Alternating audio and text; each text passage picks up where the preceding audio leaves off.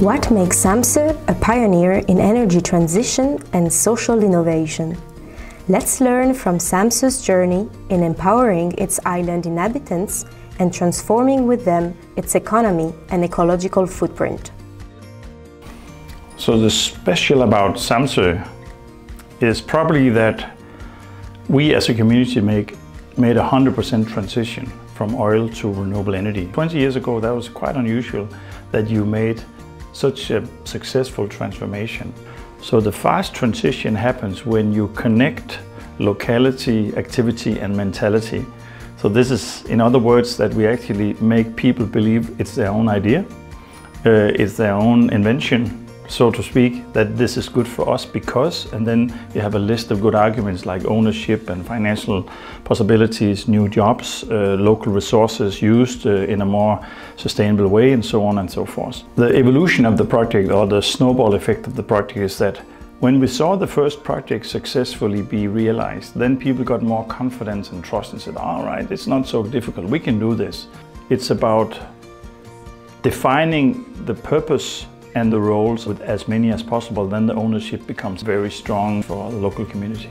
What we did was that we introduced very well functioning windmills, established enough wind power to be self-supplied with, with electricity from wind power. Heating is a combination of solar and biomass heat pumps in remote houses where you don't uh, have access to collective underground heating systems. And the last one is uh, transportation, which has been a big issue because we didn't 20 years ago have electric cars. We have them more today. So we put up uh, power enough on offshore capacity to feed into batteries and electric cars and ferries. The benefit of the island was basically to change the economy from import economy to export economy. To make the energy question something that everyone could work on together mm. for a locally based solution. I think that is in inspiring. Um, since we normally talk about problems and not uh, come together with uh, shared ownership to, to solve it. So I think the model is really interesting. And also the technical uh, solutions that, they, that they have um, demonstrated here. From Samsø case, uh, Greek islands can uh, get inspired by the local ownership that uh, people in Samsø um, has, uh, has dedicated.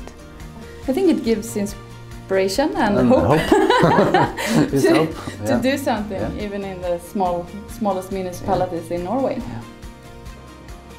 So I think it's about growing kind of a trust and a, and a, courageous community that can make even more difficult decisions. But you have to grow and learn by doing things and step by step uh, develop your own way of handling things.